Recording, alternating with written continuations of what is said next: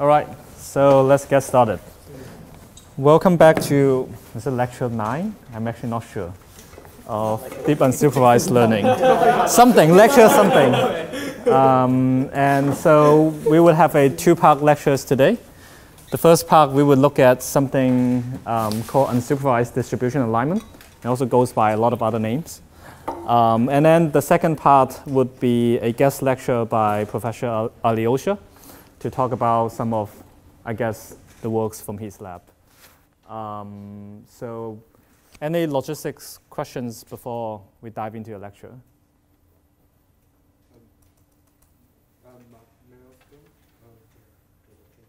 milestone of, of, um, of the project?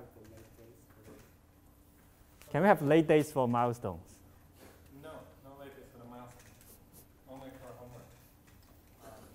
All right, there you go. Uh, can we can we have more more more credit for the project?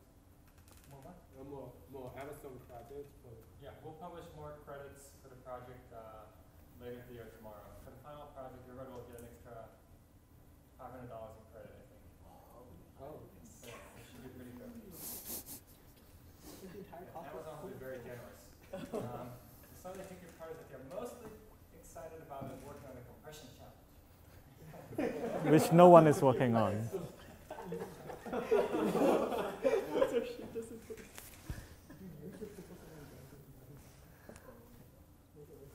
All right, so, so let's get started.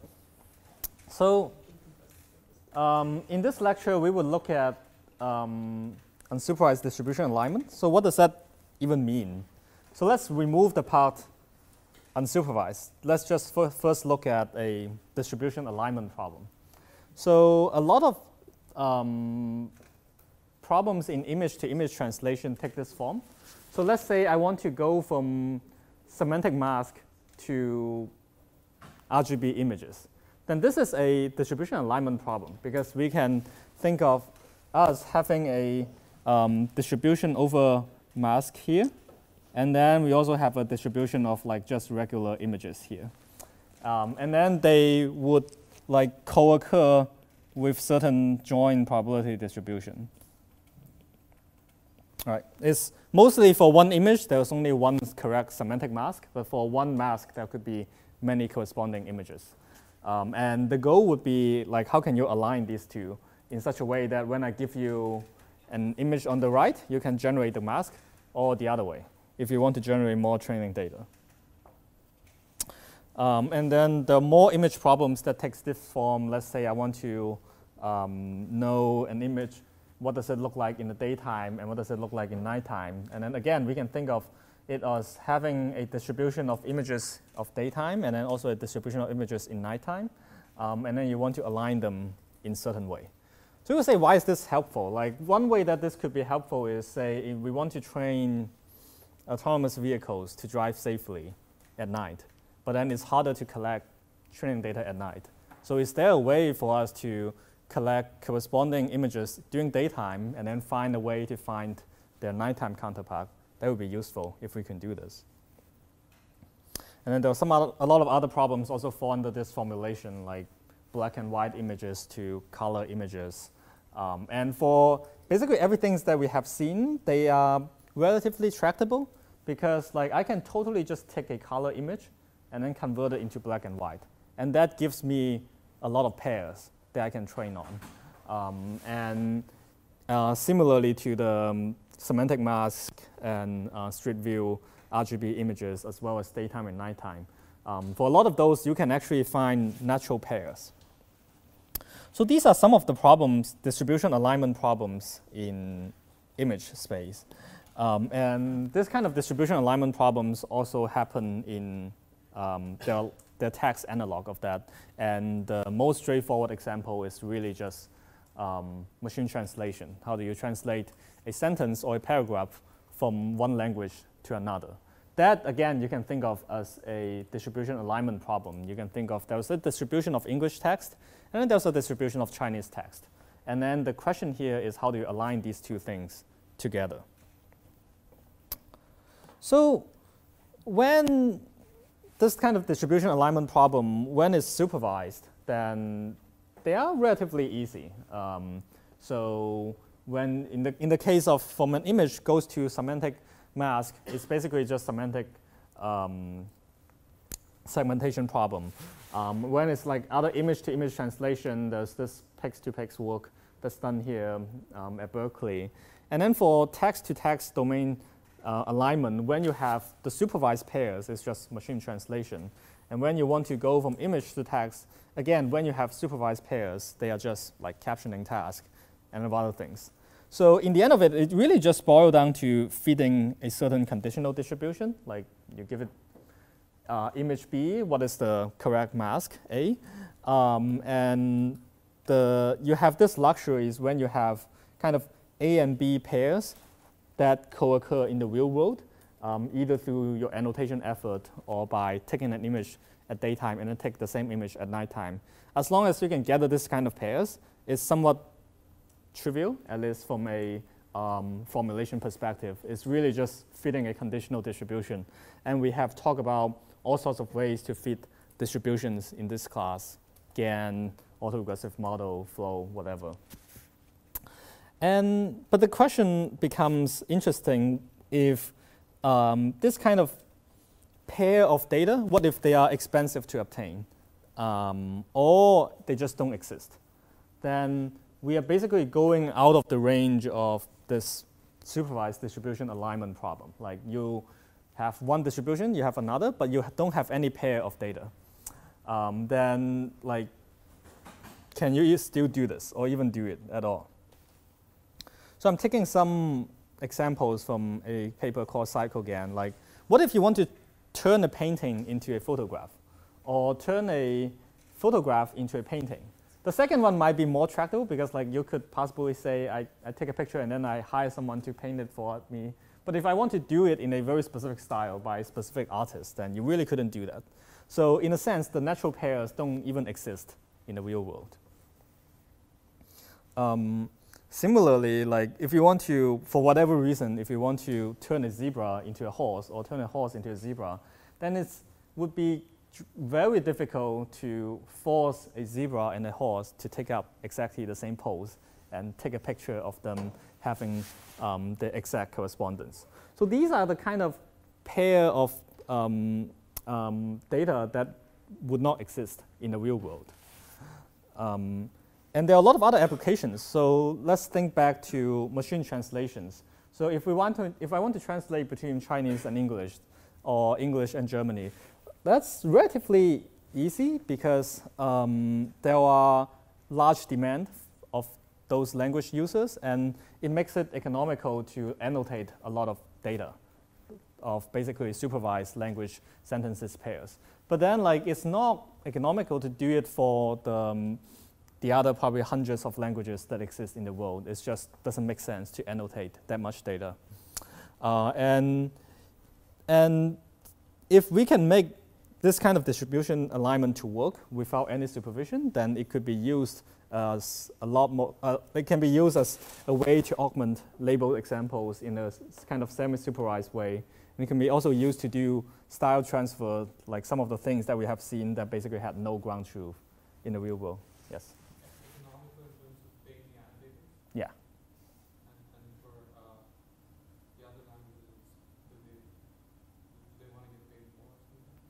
Well, it's just, okay, so if I have a good translation model between two languages, then the value of that model is kind of proportional to the usage that you can get from it. Let's say to train any pair of languages, you need the same amount of investment. Let's call it $50 million, probably on the lower side. Um, then like if I throw in this $50 million for between Chinese and English, you probably get a ton of usage and you get ads or like what other revenue. But then I have like English to like whatever language that probably only 100,000 people speak. Then you get drastically less usage of that model. That means for the same investment, you get a lot less out of it. So it's not that they are more expensive to label, it's just like their value doesn't make it justified.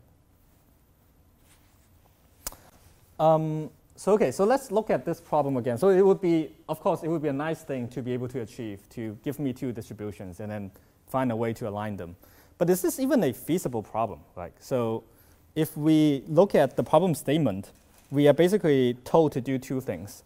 One thing is we have distributions A, we have two random variables A and B, two distributions, and then we get access to the samples from them. Like we get a bunch of samples in one domain, we also get a bunch of samples from the other domain. So that's all great. But what we crucially don't have is we don't have any samples from the pairs. Um, yet we need to estimate how they are related to each other. Um, so this problem, from a um, high level, seems pretty hopeless because you are really given too little information to, um, to tackle it.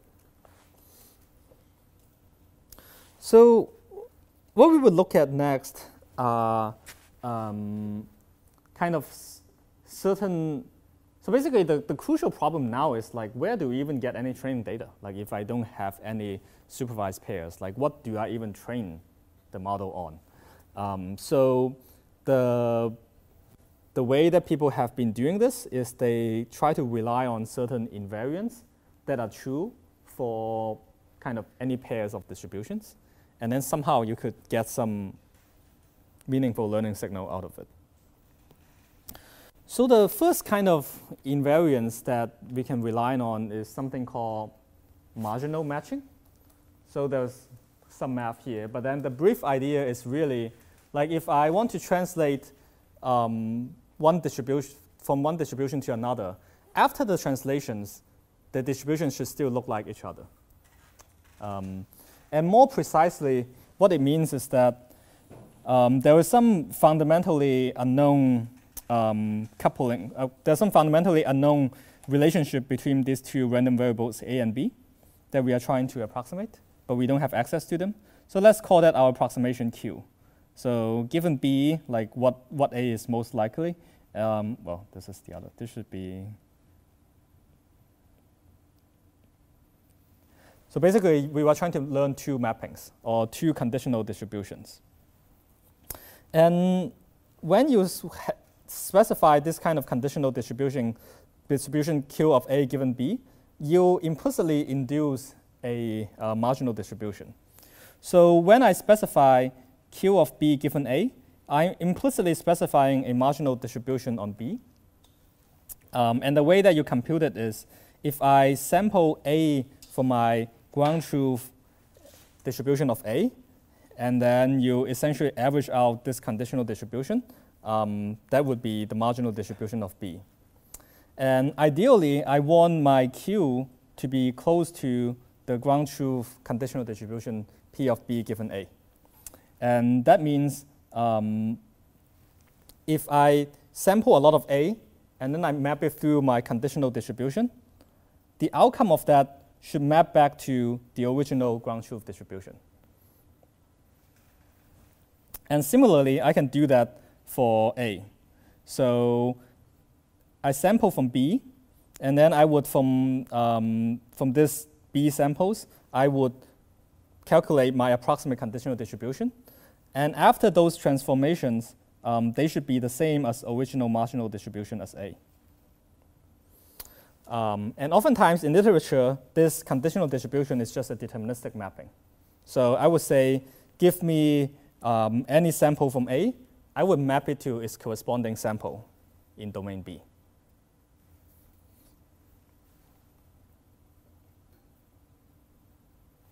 So far, so good? Yes. So assuming know Q is like some neural network. Yeah. Um, even though it's doing something that's like dependent on A or like using some of the A information, Yeah. it seems like when we're training this, we're just going to be minimizing some loss between know, the you know, PB Mhm. like what we actually have and uh, the result of Q. So at no point is A impacting how we train like Q for B. So the, the question is, um, basically we have stated the question to be, um, in the end, we are trying to match this marginal of B, approximate B to the ground truth B, which we have access to. But in no point you're saying the neural net Q needs to look at A. essentially. So that is a true statement. So if my Q, if my Q um, is so powerful that it could just represent the whole marginal distribution of B. So let's say, let's call, if we have Q of B given A, that is equal to Q of B for all A and B pair, then your statement would be true. Basically, you can just like approximate the marginal distribution without even doing any meaningful work. So that's why, like in practice, people would have a fairly restrictive mapping. Okay. So like that's why, like in most of the works that we would look at, like it usually takes the form of a deterministic mapping. So when when Q of B given A is deterministic, then like you don't you don't get to represent the whole marginal distribution unless P of B itself is only a point mass. But that is a correct observation. But like you, like you suggested, like I mean, this is a very weak learning signal. Like if you don't correct, if you don't construct your model in the right way, like you, you could extract nothing from it. So let's see some examples of like how, like how does this, how does this in an ideal case work at all, right? So let's say I have two distribution, A and B, and they are very simple categorical distributions that only have um, three possible values, A1, A2, A3. Um, I'm just going to draw some frequency here. Right, so and then I'm going to do the same thing for B. So this is probability mass function.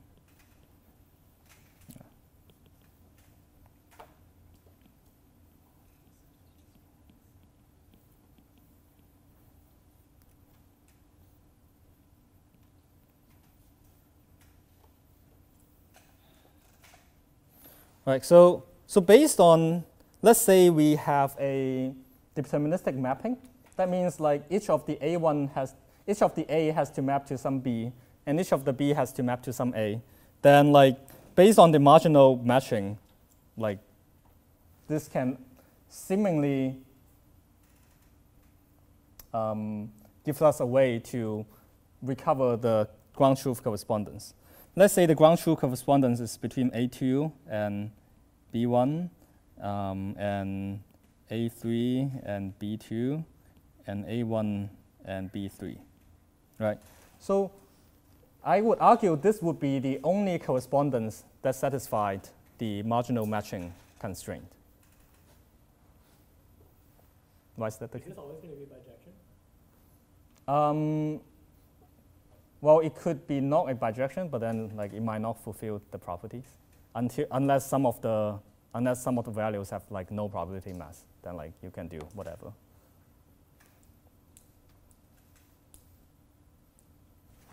Right, so I argue this is the only way that you could make the marginal matching work. The reason is that because each value has a distinct frequency here, so if you match it in the wrong way, um, the marginal distribution of the induced mapping would no longer be matching the original one.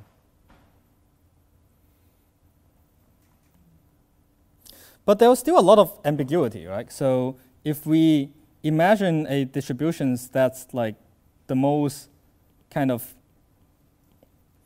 the most difficult one, let's say I have a uniform distributions over two random variables, then this is kind of hopeless because all kind of mapping could work.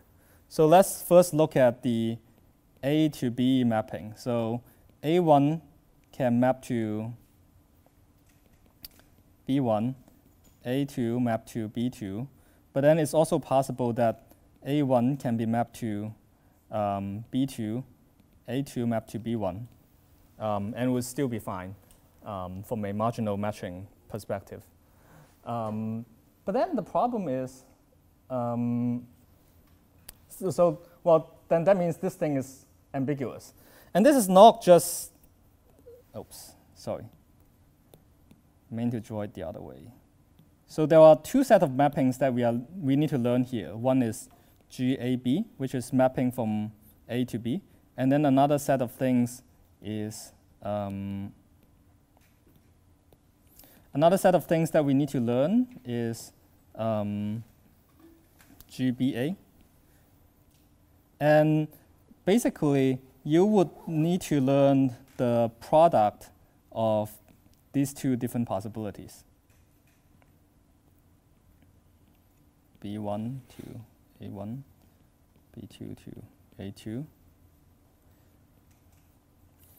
B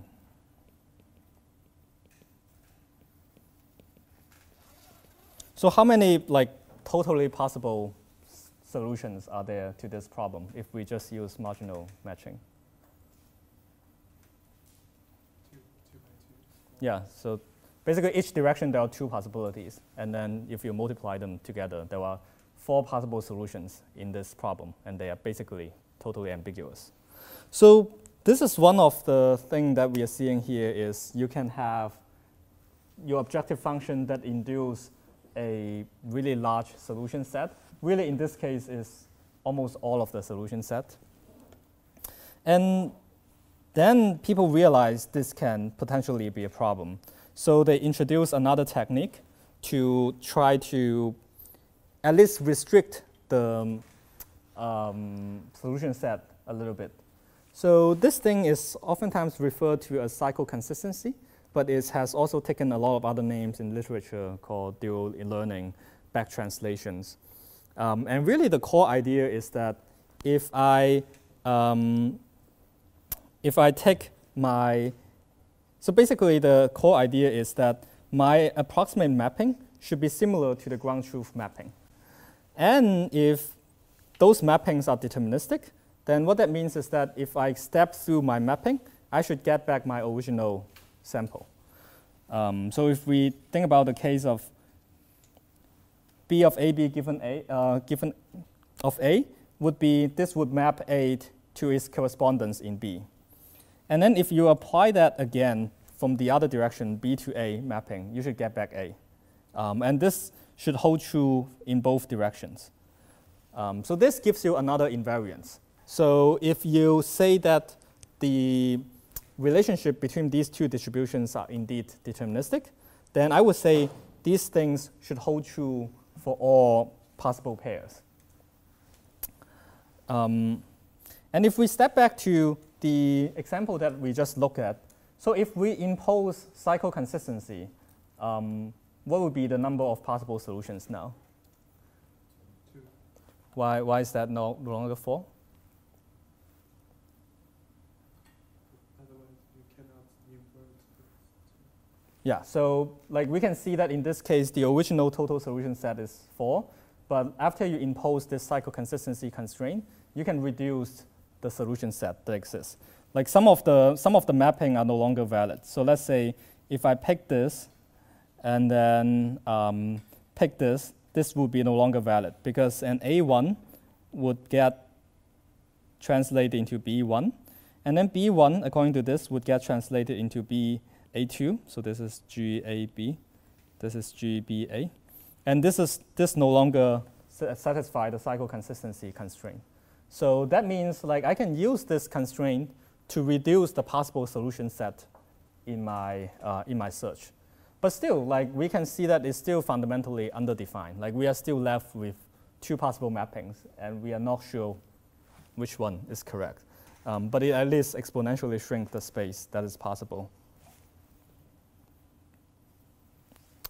So, so far we have seen um, the two core invariances that people have used. And um, these are invariants that are true for all alignment problems. And then we can use them as learning signals. Um, and again, like obviously, like we just look at, like even in a extremely low dimension, um, basically categorical examples, like it's still not going to work. So there are there are definitely problems that this cannot solve. Um, but then in practice, like people can find problems that this kind of search is amenable to, and then you can oftentimes inject additional biases in your system by c- selecting the right architectures, loss functions, and etc. And you can actually get to a certain level of success with this. Um, Yeah. Can you explain more about the, the pre- previous, previous slide? The, the expression, the expectation, the previous, previous one? yeah, the expression, the expectation. So the expect this this one basically says for an arbitrary data point in it's it's just a generalized version of the cycle consistency thing.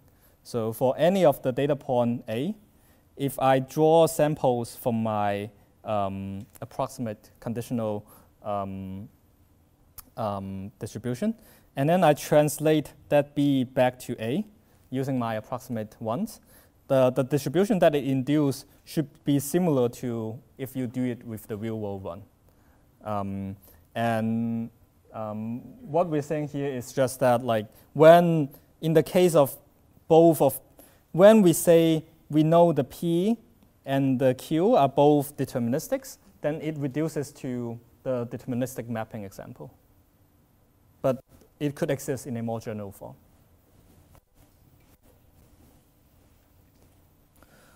Um, so probably the best known example that uses those um, learning signals are CycleGAN.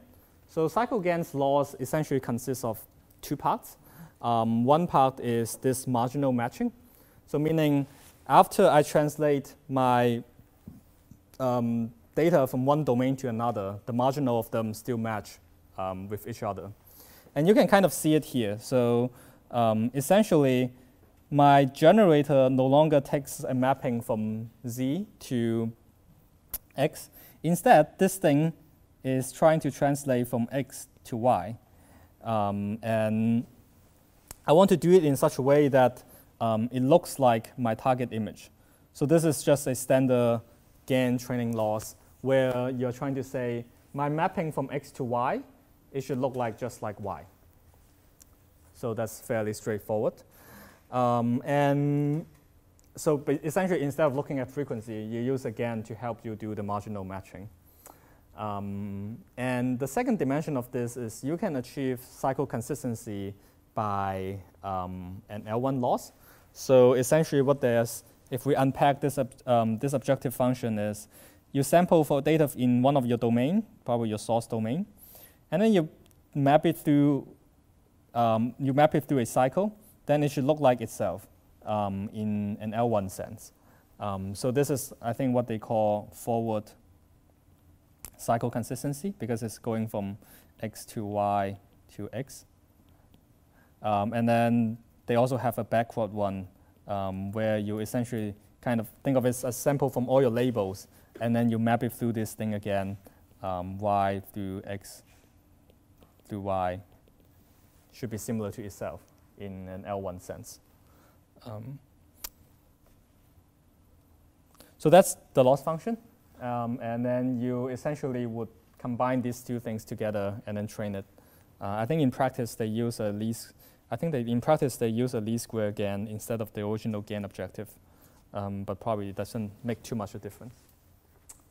And so they reported a couple numerical results. Um, and the first results that they look at is, so in the case of going from photo to semantic mask, um, you can actually calculate the accuracy. So we can get a quantifiable uh, um, notion of how well the method is doing. So the method that we just introduced is called CycleGAN, um, and it's basically unsupervised. So you give it a bunch of street scenes images and then a bunch of semantic masks, and then you hope them that they somehow align each other. And what this shows that they actually do pretty well. So um, a pix2pix is a fully supervised model. So the last row means you get you actually get pairs of um, image and their corresponding label. Um, so the last row should be read as basically an upper bound on the performance. Um, and then the CycleGAN um, by using no labels at all, it can actually do pretty respectfully. So like you can roughly say that 60% of the pixels are labeled correctly with the right uh, uh, with the right class, with actually no even with no information on how they should be related to each other. Do, do you have to put the images in pairs a priori? No, so there's there's no pairs. So you, you, you, train, you train the whole system with just a bunch of unordered images and then a bunch of unordered masks. And then it's learning to align them. Yes? Does the performance of the CycleGAN tell us anything like, does it get better accuracy on like, I don't know if the cityscape, does it do well on cars and worse on street signs? Like, good, good question. I don't think they have that level of analysis, but I think that would be interesting to see. Like, what are the kind of things that are easier for it to align? What are the things that are not, like, a more tri- uh, are trickier? Uh, I feel like there's a lot of inductive bias in like going from one picture to another. Yeah. Is there like any experiments done between like data that's not as structured? Yeah, so the, so the question is um, there was a lot of inductive bias going from one image to another using a convnet and then also using a certain discriminator that operates on a patch basis. So you kind of like do a kind of domain alignment per patch. Like, so you can think of it as having, it's, there's really a lot of training signal that is not captured by the loss function at all. Um, so unfortunately, um, we don't know the answer to that. So I, I guess what, what I know for sure is like if you just scramble the image, like, like I mean just permute the dimensions in your um, image tensor, then I'm pretty sure it would do poorly. But then like, is, does that mean like this is not useful? Probably not, but it still means that we don't fully understand what are the inductive biases that are helping us. But that's a good question, yes. I think one is like, for images at least, it works well if the shapes in the two different domains like match relatively. Like, uh, like they had one good example, like horse to zebra. Like the shapes of those animals are pretty much the same, it's just the color that you're changing. Mm-hmm. But it's hard to do like, um, I don't know, like automobile to like a pickup truck or like a giant truck. Right. So I, I guess. So. So the common is around like the um, a lot of these translation problems like operate in a very local manner. Like you're kind of like saying, I just need to change my local pixels. Like when you go from zebra to to, to horse, like you're just kind of changing a local texture as opposed to something that is global, which is presumably much harder. I think that's likely the case. Could you explain what the feature loss was behind based on? I have no idea. You can, a- you can ask Alyosha, who will be here soon. Uh, how does this result compare with supervised learning if you? So I, I think this is a long way from supervised learning. So I, I believe supervised learning like this thing should, like I, I, I don't know, but I, I, I imagine this to be at least 95% plus. Um, but again, like this is not a correct comparison. I think the correct comparison is to compare CycleGAN with pix2pix because they use similar architecture, except one is supervised, the other is unsupervised. Whoops.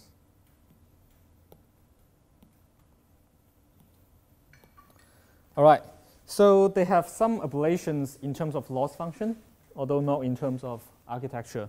Um, the ablations basically tell you what we sort of expect that like for one, like if you GAN alone, if you just do GAN alone, this is means you just do marginal matching. Um, so which is actually not bad already.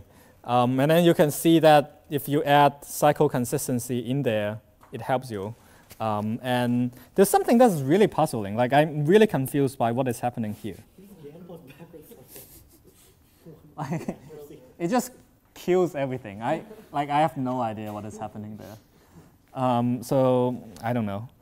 Um, and and what's also interesting is that it doesn't always help. So uh, what we are looking at, we are looking at going from photos to labels, and then they have another experiment that is going from labels to photos. So this is a much higher entropy um, mapping, whereas they still use just deterministic mapping. So you can imagine some there might be something that is playing with that um, in here um, that I guess we don't we don't fully understand. What's interesting here, though, is the evaluation mat, uh, metric is pretty interesting.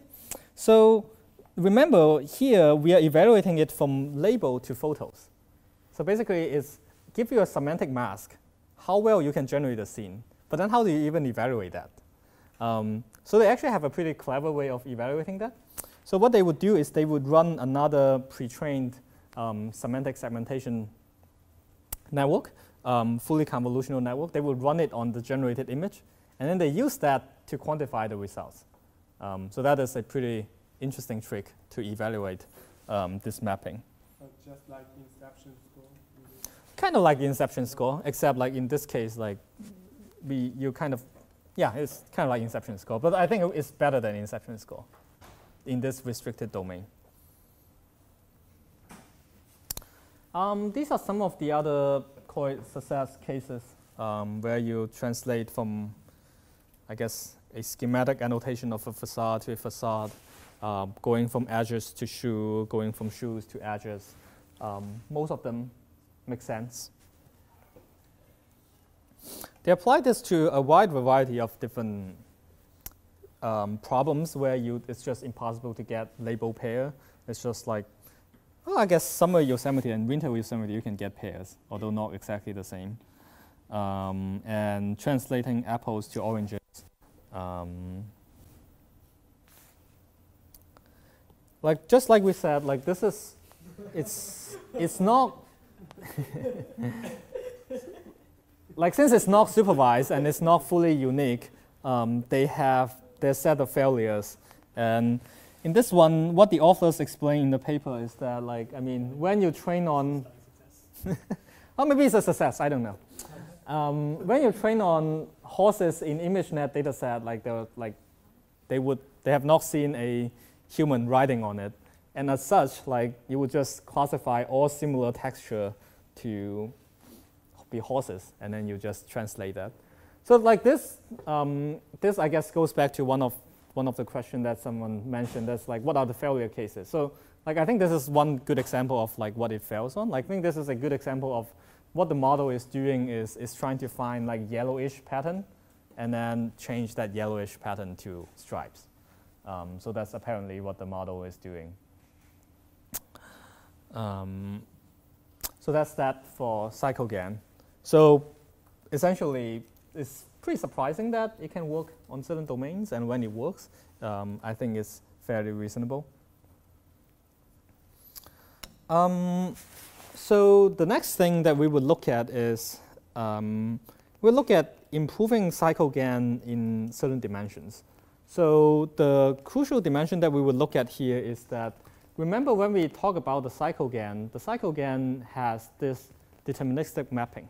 So you give you an image X, you translate it into domain Y, um, and, but this translation is deterministic. But that is um, fundamentally not correct, at least for a lot of the um, alignment problems that we care about. So let's say if I want to go from mask to image, semantic mask to image, like there's a lot of different ways to satisfy the same um, semantic mask. There are a lot of different ways to generate that image. Like semantic mask only tells you there's a car here, but what does the car look like? What's inside the car? What color it is? Like it, it specifies none of those. So basically there's this high entropy mapping going from semantic mask to image, and that is apparently not deterministic. So you can say, oh, one straightforward way to extend CycleGAN is to say CycleGAN is essentially this, right? So you take in an image A, and then you're trying to map it to image B. Um, so one straightforward way to extend that would be to make this mapping take in an additional noise source, just like in a typical GAN. Um, so you could take in an image A, and then you can also take in a noise source that probably describe like what does the car look like, what is the color other than the contour, everything other than the contour. And then from that noise source, you can map to some image B. And then if you sample different Zs, hopefully you get different cars. Does the motivation make sense? So that's all good. So, and in fact, like this has been done um, concurrent to CycleGAN. There's another paper called DualGAN, where this is essentially the architecture. The mapping would take in both an image from source domain as well as a random noise source. Um, however, this is not enough to just change your architecture um, because if you change, if you, even if you change your architecture, the noise are doomed to be um, um ignored. And to see that, the reason is essentially our loss function, the L1, lo the L1 cycle consistency loss, tell it to do the following. So if my map my A with certain Z, this, this produce like some kind of B for me. And then if I map my B with another Z prime, I should get back to A. And we can see that in this whole mapping, um, the choice of Z and Z prime are essentially ignored. So you can choose different Z or Z prime. you still need to satisfy this mapping. So what that means is that the noise source is necessarily um, ignored when you impose a cycle consistency loss and when you optimize it to its fixed point. So that's not good. Um, and then there was this augmented CycleGAN paper that proposed a way to solve it. Um, so you would augment the noise to your architecture, but you will also learn. So instead of only learning the mapping from A to B and B to A, you will learn an encoder of each of the noise source, not dissimilar to how an encoder is used in a variational method. And it's actually pretty interesting. So the way that you would go is I have some ground truth image A, um, and I have, um, then what I'm going to say is that my ground truth image A would comes from a corresponding B and its corresponding noise source, ZA. And then I would have this blue arrow, which is a network that infer what ZA it is. So basically, I'm trying to infer what Z produced my A. And I'm also going to infer what B produced my A. So instead of only inferring what is my corresponding B, I infer that as well as what is the noise source that produced me. Now, with both the noise source and the corresponding B, I can use that to map it to an A prime um, using this color, which is the mapping coming back from B to A. And in the end, I can say that A and A prime should be similar in L1, um, in L1 loss sense. So now it's okay, because I'm choosing a specific Z for each particular data point. So if we think about it from an information theoretic sense, whatever information that is not captured in B, you push it into Z. That allow you to perfectly reconstruct the original image, as well as um, maintaining the ability to um, have diversity of mappings, because a different A could come from different Z. Yes? How do you prevent the model from putting everything into Z? So the question is, how do you prevent the model from putting everything into Z? Um, so you could, but it might fail the marginal matching criteria. Well, the marginal matching just says you need to output like a distribution of B that looks good, right? Right. So I guess the, the, the statement is like it, the A and B relationship could, could become decoupled. Like I, I, from A, I would just map to an arbitrary B that Yeah. actually has no correspondence with A from the beginning. and it just But then, like, remember that is always the problem. Like, even with the original CycleGAN, you could still produce an arbitrary mapping that is consistent, but it's not the ground truth mapping. So this, like, I guess what I'm saying is this doesn't make it worse. Uh, could you do like maybe where you have the distributions match after a cycle, like distribution induced by having a z, like rather than having like an L one loss? Um, sorry, can you say that again? So like you map like uh, A and Z to B, and you have another Z that goes back to A, and the distribution is induced by that. Like, is that a stochastic mapping? Have that match the original distribution for A? So are you saying like basically you can play this multiple steps, and then like the evolution of them should still match the original marginal distribution? No, I, uh, it's, I'm not fully sure. You're saying like take one loop and then the result of that becomes your like stochastic noise. Uh, yeah, yeah, more like that. Yeah. I mean, yeah, that's yeah. It's like it's like it- like if you're to stack them. Mhm. I guess, yeah. Yeah. So there are many ways that you can play with this. Yeah. Which I'm still a little, confused because like to me this looks like 808 prime just looks like an autoencoder going through Z, Yeah. and then you also have like something else that goes A to B, right? And you have like whatever some GAN loss on B. Yeah, you will have GAN loss on B, and then you would, I think you also have GAN loss on Z, which like Z you restrict it to be, the marginal of that you restrict it to be some Gaussian or something. So in a sense, you cannot put infinite information in there. So both of them are in a like sense information regularized. Yeah, good go ahead. Okay, that's just like a VAE, right? Just like It's, it's really more like an adversarial autoencoder, which we didn't cover in the lecture. So it's kind of like a VAE, but instead of like a KL loss, you use a GAN loss. Okay. So it, it is more, it is, but, but like a, it is very much like a latent code model that is trained with a just GAN. confused, Like, I just don't see how, like, why the model wouldn't just collapse to that. It could. I'm not saying it wouldn't. like that applies to everything that we'll go over today. there are holes in all of them. Well, maybe it's because VAEs just don't work as well. So Oh, you mean why they don't use a VAE? Kind of like good reconstruction loss and A prime, just doing 100% VAE is not going to get back to the loss. I think it's probably the mapping from A to B that it wouldn't do well. Like it wouldn't do it in like a visually appealing way. Um, otherwise, I think for Z they could actually use a VAE type of loss, but it, it would not be a VAE because there's still this thing that is that's in the middle. On that point, but doesn't the VAE start generating stuff like way before the GAN does?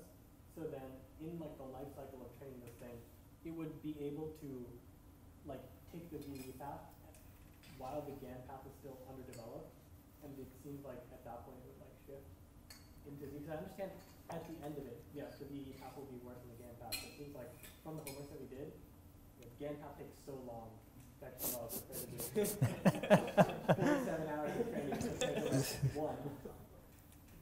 Actually, comparing to the data sets, like the VA homework was on Uh, that's good. SVA Chen and Gathos and C Yeah, it's not it's not it's not that fair comparison.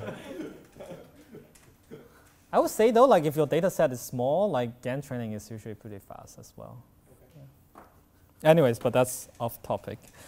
Um, so just like operationally, what does that mean if we go through like one cycle of that, well, cycle consistency loss? So we get some um, image from some um, from a source domain, and then we would randomly sample a z for my mapping to B, um, because remember that the mapping from A to B is also stochastic. So B could take up a lot of different forms. And then I'm going to generate a noise source that dictate what it is. So this is what I'm going to samples. And then there will be a set of mappings that I go through. So the mapping from A to B, now it takes A and a noise source for B. That gives me B. And then from this B and A, I can try to guess what was um, the, um, the Z that has generated my original A. So that is my encoder to guess Z of A. And then finally, I would plug in the B that I generated and the Z that I generated. And from these two, I get back, um, I get back this A prime, which supposedly should be close um, to my original sample. So that's all good. Like it's fairly easy to implement, like just a small surgery on um, CycleGAN. Um, how does it do?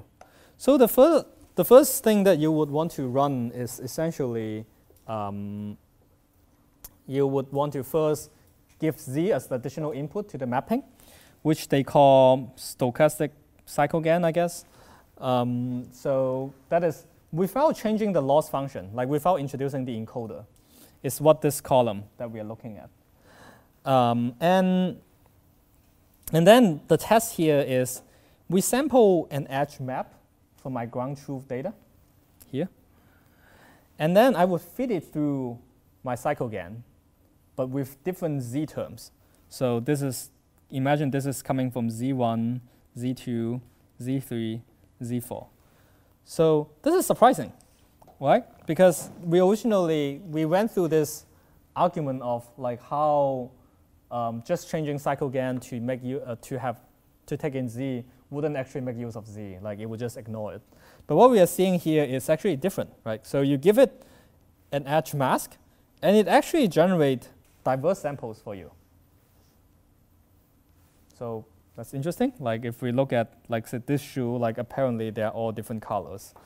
Um, and even though we do the augmented one, like using the new loss function and the encoder, um, I would say they look probably the, about the same, the same kind of diversity. But it's kind of interesting, like why, why does why does CycleGAN work?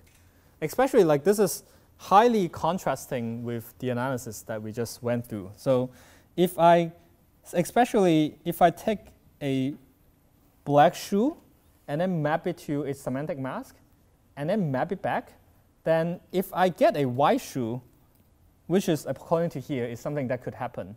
If I get a white shoe spec, I'm going to incur huge L1 loss because black and white are just two ends of the spectrum in your color space. So, so that is somewhat puzzling. Like what, what is this actually doing? Like if, if it can generate these diverse samples, then that means it's not optimizing its CycleGAN loss well. But it is optimizing its CycleGAN loss well. Um, so the very interesting thing here is that um, CycleGAN, when you go from a high dimension, like a high entropy mapping like RGB images to a low entropy one like a semantic mask, it can actually hide information in some kind of high frequency pattern.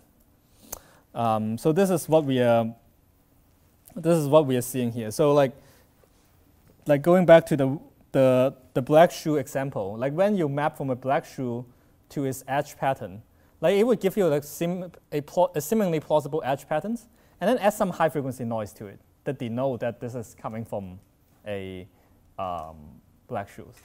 And then it can look at the rough shape of that pattern, and then it also reads the high frequency noise that's encoded in there to say, oh, this should be black.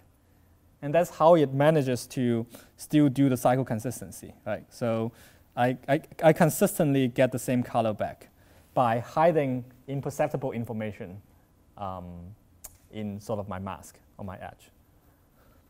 And that's pretty interesting. Um, and um, the way that you can show that it's doing that is by essentially constructing an experiment where you, um, so, so this is called domain A, this is domain B.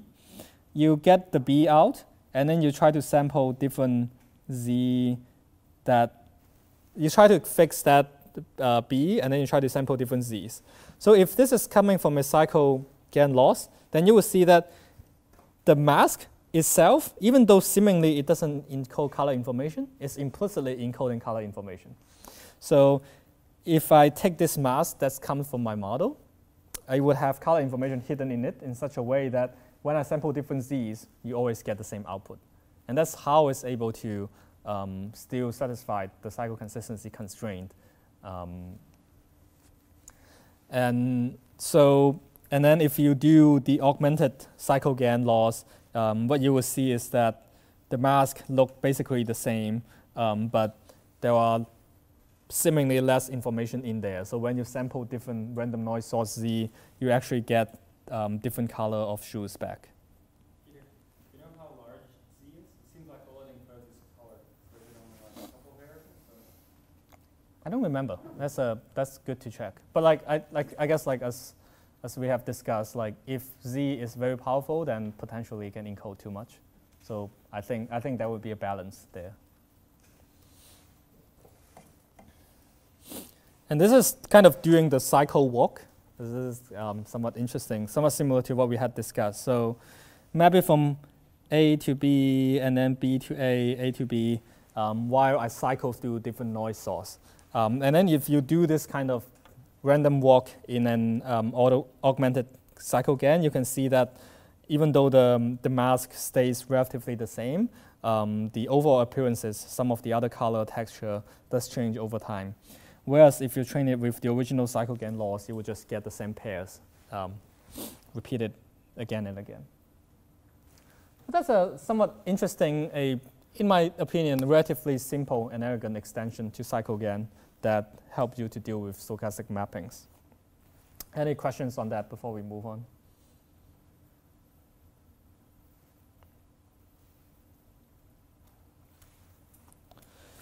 So the next set of questions are um, can we do better? So, so far we have covered two learning principles.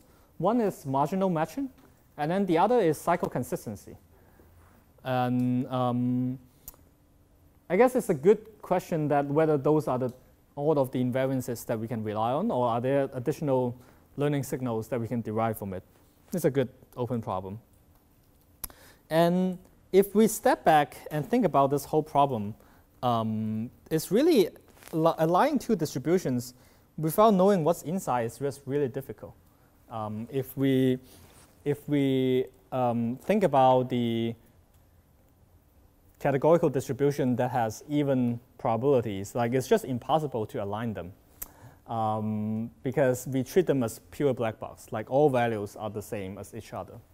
So um, one idea that we can move forward from this point is we can look inside the random variable. Is we can say this image is not just a huge, a high dimensional random variable to me. Like I can actually look inside and see what's in there and then um, maybe use that to help us. Um, and for this kind of high dimensional A and B, like they typically have certain structures in them that, um, that could be leveraged. And as people have pointed out, like when you use a ConvNet um, and patch-based discriminator in a CycleGAN, you're kind of implicitly employing um, some of this inductive bias already. Um, but I think we, there are cases where we can push this even further. So um, the best example that I could find is in NLP for that.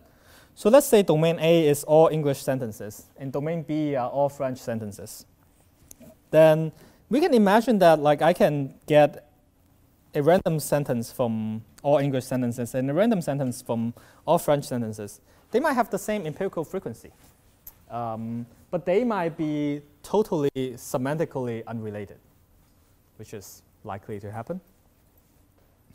Um, so, and cycle-consistency wouldn't also rule out that either. This is just uh, basically going back to the um, problems of when you have distributions that have uniform densities, nothing could help. But what we do know is that each sentence is made up of words. Um, and it's very unlikely that in those two totally semantically unrelated sentences, um, they would have words that um, have same kind of statistics. So I'm using the term statistics loosely here. I'm going to say more about like what we can do with this. So basically, what the exercise that we have gone through is instead of thinking of it as um, distribution alignment between sentences in different languages, if we are allowed to look inside, like what's within each random variable, and look at their subcomponents, and do some inference on the subcomponents, that can help us circumvent the problem of um, not enough learning signal. So in the case of NLP, the subcomponents are the words, and the, large, and the larger, higher dimensional random variables are sentences or paragraphs. And so that's interesting. So right now, what we can do is we can, for one, we can first of all align the words. Like we can think of ways that you can do distribution alignment on words. And even more, we can think of, um, we can make use of how different words occur together. So let's say the word I is most likely to be followed by M, and because these two things co-occur um, most frequently in, um, within this large random variable um, sen a, a, sentence. So what is the thing that we can make use of this kind of co-occurrence statistics of subcomponents? Well, we have learned one of them, Word2Vec, in two lectures ago, probably. So just a recap on SkipGram Word2Vec. It's really simple. So basically, all it's trying to do is it's trying to say, um, given one word, the word in a sentence, I'm going to say that um, others, other words in this sentence is more likely to occur than every other things in my corpus. Uh, and in practice, you wouldn't sum over all of your dictionary. You would do some negative sampling to optimize this. But essentially, the end result is certain vector that describe um, if two vectors are close together in that vector space, then they are more likely to occur in a sentence. Um, and if you train a very, very large model on a lot of text data, then it capture how different words are likely to occur together. So that's SkipGram. And what's really interesting is that this kind of Word2Vec method exhibits really interesting um, vector calculus. Um, so this is again a recap slide. What we can look at is that um, if we look at the direction um, from um, a country to its capital, um, the vector is actually relatively similar across a lot of these different pairs. Um, and we might, we might be able to ask, like, so based on this kind of vector, if the vector calculus makes sense, then does it mean that we can say the vector representation of those words are distributed in a certain manner? And more importantly, if similar ca vector calculus holds true for all languages, meaning I train a word embedding for English, let's say on the, on the left, and I also train a word embedding for Italian, if they exhibit the same vector calculus, meaning um, all different embeddings in them are placed together in a such a way that you could um, do the kind of country to um, capital translation, then that's a really strong inductive bias for us. Um, and if that holds true, then we can possibly align words by similarly by just like uncovering some kind of affine or linear transformation that align these two things together. So very surprisingly, um, it's actually true. So for the vec that we use, let's say in fastText, um, if you train it on one language, if you train on multiple languages, and then these embedding space, they are only a rotation away. So you're going to learn a rotation matrix that rotate another language into your space. And then the results would be, well, this, this is um, graphics that I grabbed from a Facebook blog post that illustrated really well. So you basically get this embedding space that, um, that exhibit similar relative structure. Um, and then, so what you can do, but the absolute location is undefined. Um, so what you can do is you can just learn a way to align them together. And then after the rotation, one point in the embedding space um, would be very likely to exhibit the same word, but in different languages. So this, this totally blew my mind that this could work. But yes. Do you have some like labeled like pairs of words, and then you use that to learn the? Yeah. So, so initially, so the, what, the citations here are, you can basically use a small dictionary, say a language-to-language dictionary. You can use a small dictionary to learn the alignment.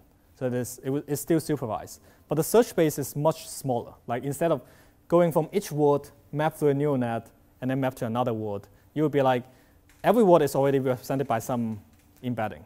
Now I'm only learning the rotation that is used across all embeddings. But then like, so basically a couple data points is enough to, to specify that. Yes?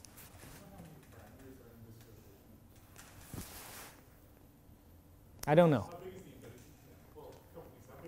Probably two, 2,000, I would, I would guess. Like, I mean, totally uneducated guess. I, like, I'm not an NLP person.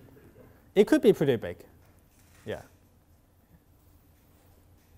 So that's pretty interesting. So that's what happened up until like probably before 2017-ish, is people can like, you can align these two embeddings by, is basically examples. Like I can just go to like French English dictionary and then look up a couple words and then you use that to, to align these two embeddings. But that's really cool that you can do that. Question. Yes. Um, so why is that even scale is not a problem? What? Is if, if one of the embeddings were just scaled differently from the other one, then Uh, apparently they are scaled the same or less similar enough.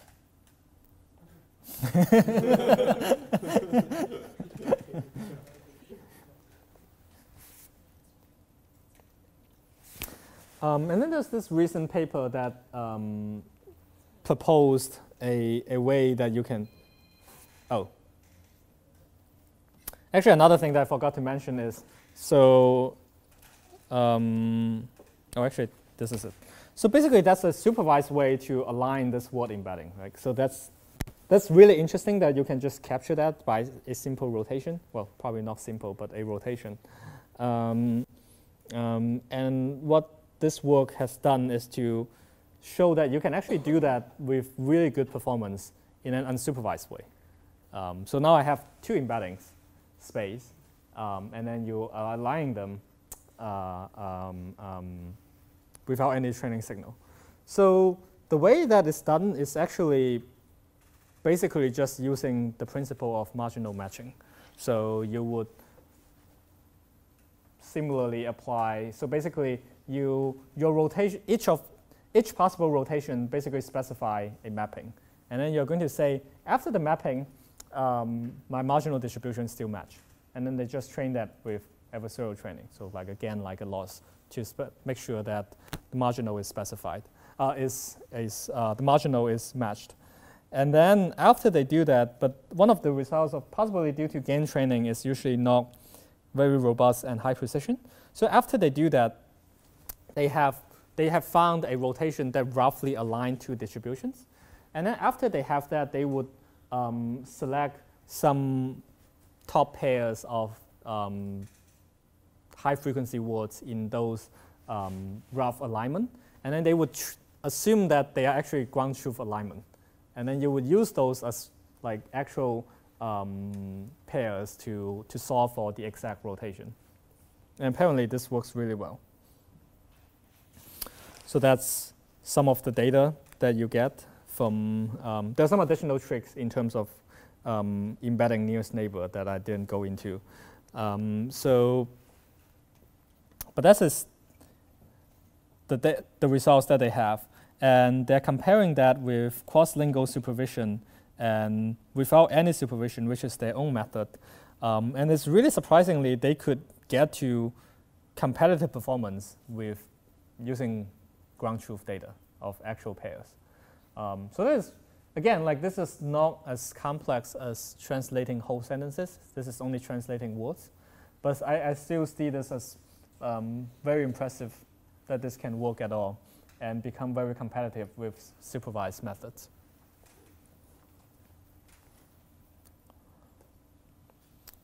So then the next part of this is, um, again, another paper from Facebook, is um, now you can actually leverage all three of the core principles that we have covered so far. You can look at, so they use word level alignment, meaning they started from what we just looked at, the unsupervised level, the unsupervised word level alignment. So this is you're not just looking at sentence level, you're looking inside sentence to subcomponent level statistics. And then they also use a monolingual language models to make sure what you translate actually looks like a real uh, uh, sentence so that basically you can see that as marginal matching. Uh, and then they also have this thing called back translation, which is another variant of cycle consistency. So you translate it from English to French and then French back to English, you, get, you should get back the same sentence. Um, and this is a paper that essentially utilized all these three uh, uh, uh, methods. And then from there, I, can, I think they get um, state-of-the-art unsupervised machine translation results that are, um, I think, 10, I don't remember the precise results, but that were um, widely beyond previous state-of-the-arts.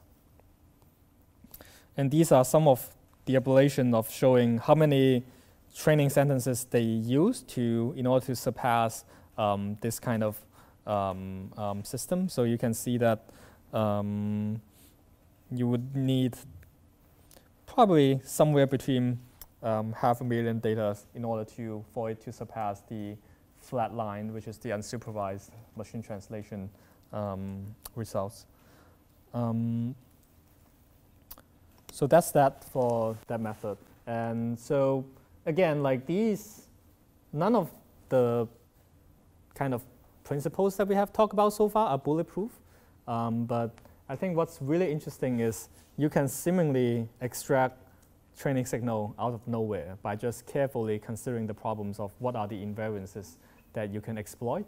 And especially in NLP, like really thinking about how um, thinking about it not at a random variable level, but really look inside each random variable and what are some additional co-occurrence statistics that you can employ um, that could actually help you learn better. So that's that for this part of the lecture. Should we have pizza break?